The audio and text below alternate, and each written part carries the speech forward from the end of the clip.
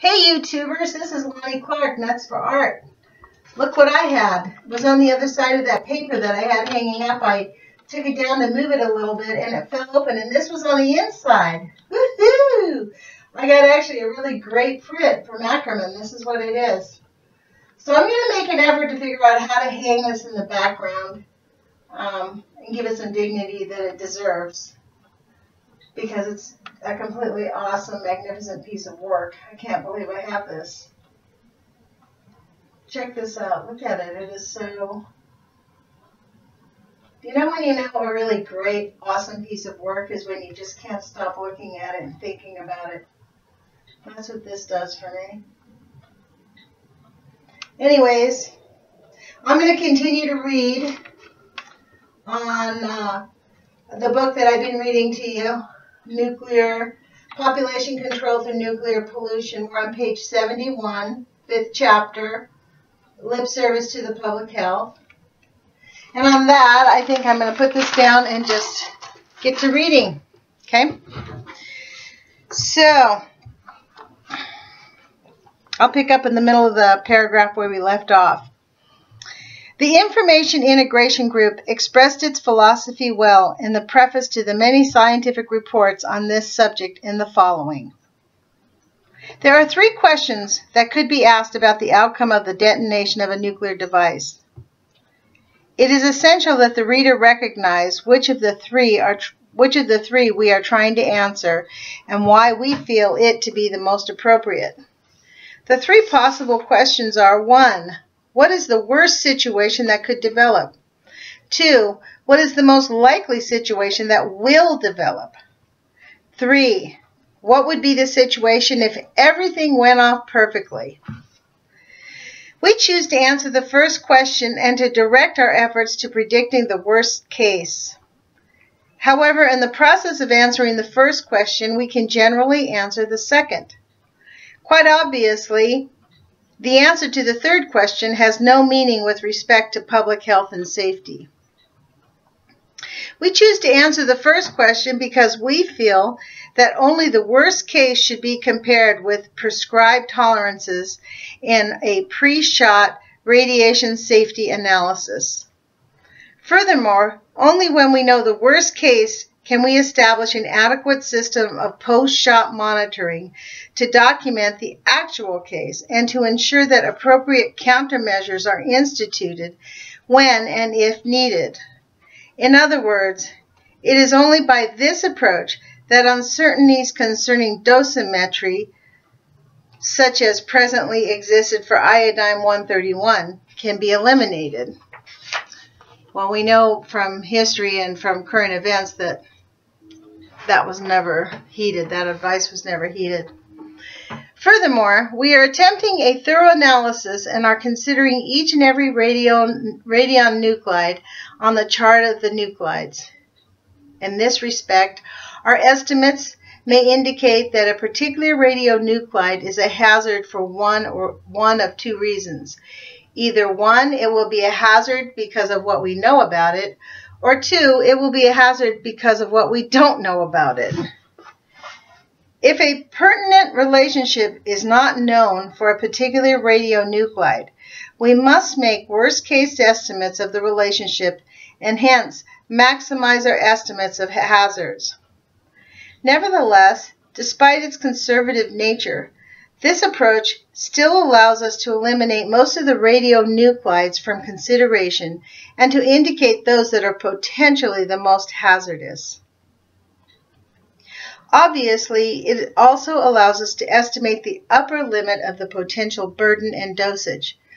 But due to the perversity of nature, the precise dosage can only be determined by post-shot documentation in the affected areas. It is obvious that iodine 131, I'm sorry, it is obvious that had iodine 131 been measured in milk during the early periods of testing, its dosimetry would not now be a problem. Thus, we wish to be able to, through our, thus we wish to be able, through our predictive approach, to indicate what should be measured where it should be measured, and with what precision it should be measured. There appears to be no way to ensure unambiguity, unambiguous dosimetry for future events and to assure that the need for countermeasures is recognized in time so that it can be planned for and instituted when and if needed. In parentheses, the reader might be interested in knowing that in 1970, after the current leadership of the Biomedical Division, Doctors Bernard Shore and Roger Batzel began the reprisal destruction of Tamplin's research efforts. One of the earliest scientific casualties was the preface recorded here, which explains responsible public health exposure. At long last, through the help of Dr. Shore and Dr. Batzel, the preface, so troublesome to the plowshare enthusiasts, could be hidden from further public view. Wow, meaning they took it out. Protection of the public from senseless, irresponsible irradiation was regarded as an absolute must by Tamplin and his colleagues.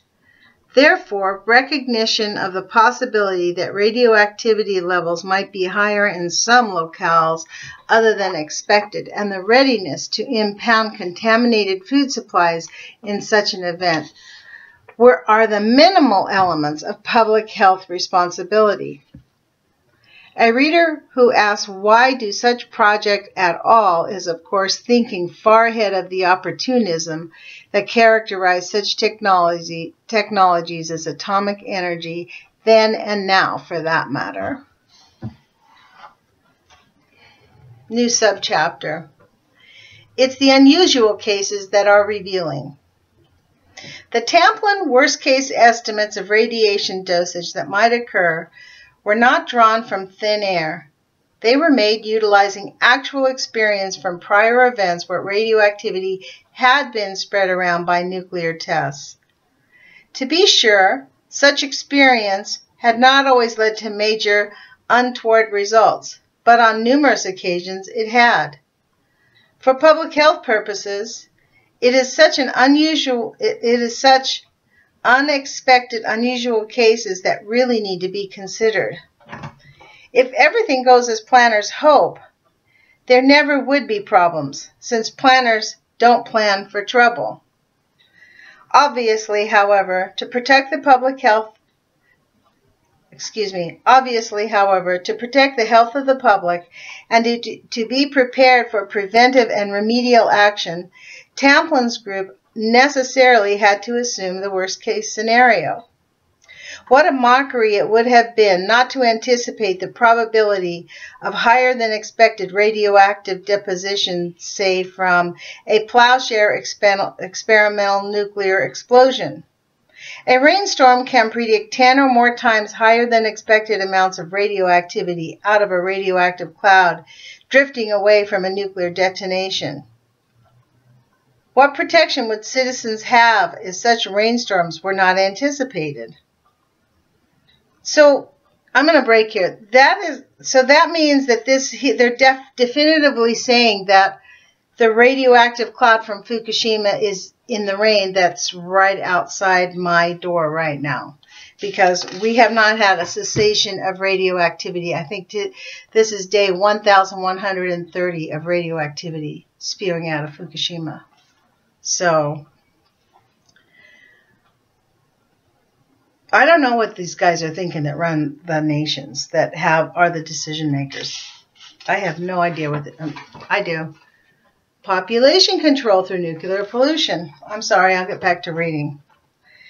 But to the enthusiast for plowshare peaceful nuclear explosives, any suggestion that people might get exposed to excessive amounts of radiation represented a thwart of their technological objectives. Success for the Peaceful Nuclear Explosives Program meant being able to explode thousands and thousands of such nuclear bombs, to dig many harbors, canals, to move many mountains.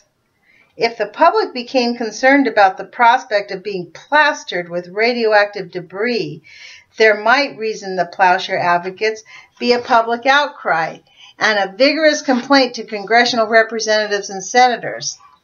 This obviously might cause restrictions upon the program, and such restrictions were to be avoided at all costs, no matter what the consequences to the health of the public. Hmm.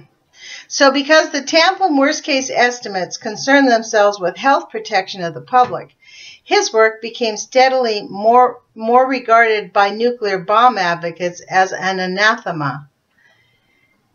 And the biomedical research at Livermore Lawrence Laboratory came to be regarded by plowshare advocates as the work of the enemy from within.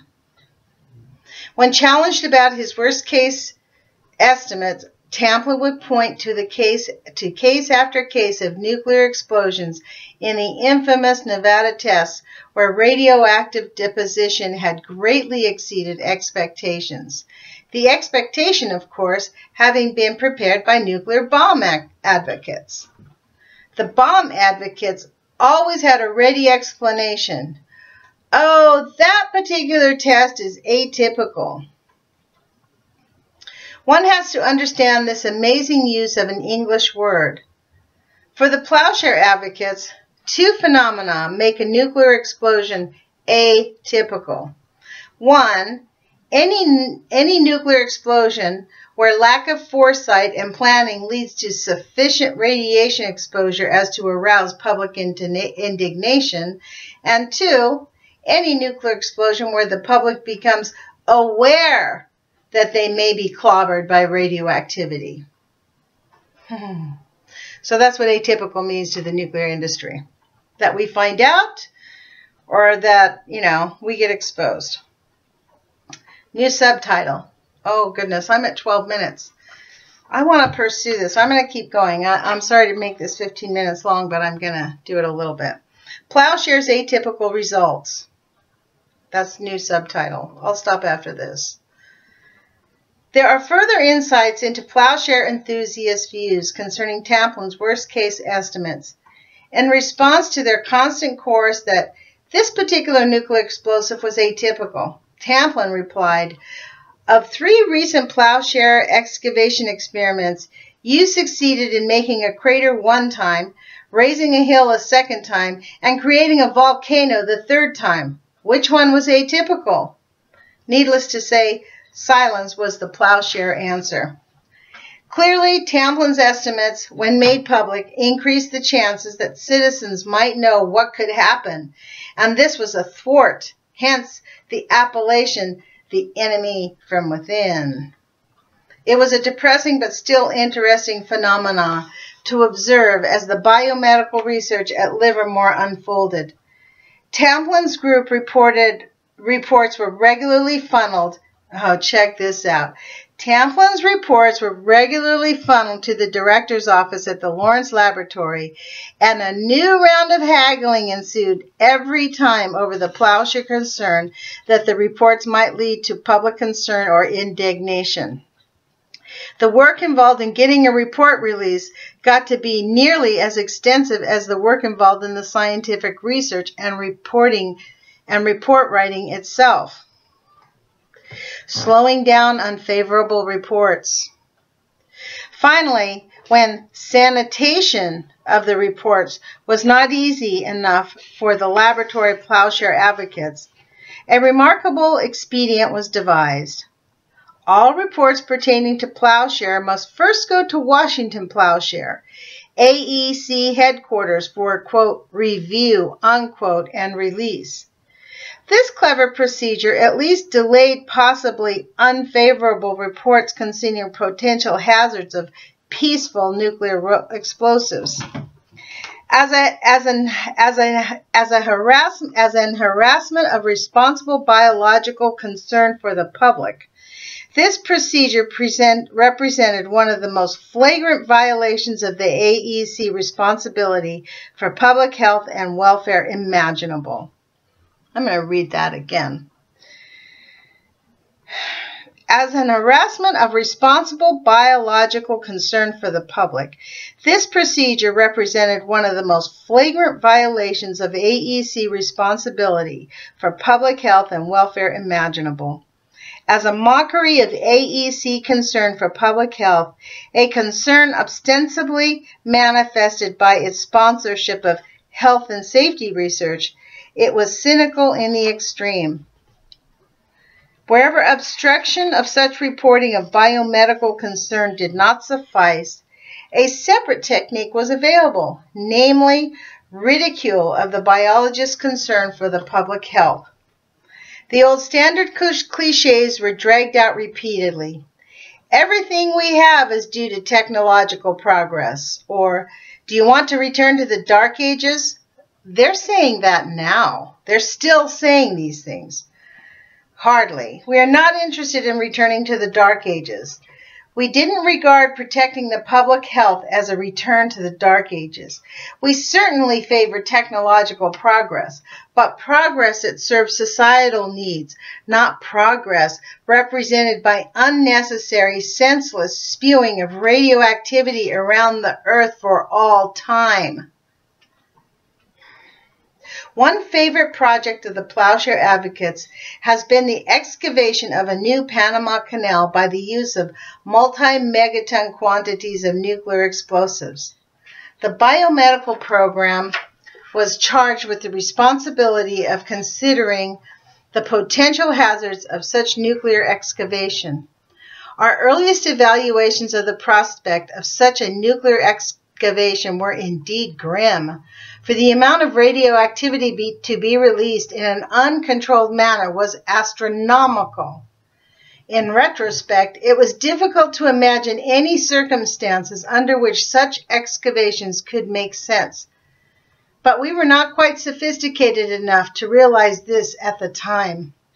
Instead, we sincerely addressed ourselves to serious calculations of expected radioactivity releases and radiation exposure to humans to be anticipated if such a nuclear explosion digging uh, if such a nuclear explosive digging of a Panama Canal were ever to be carried through.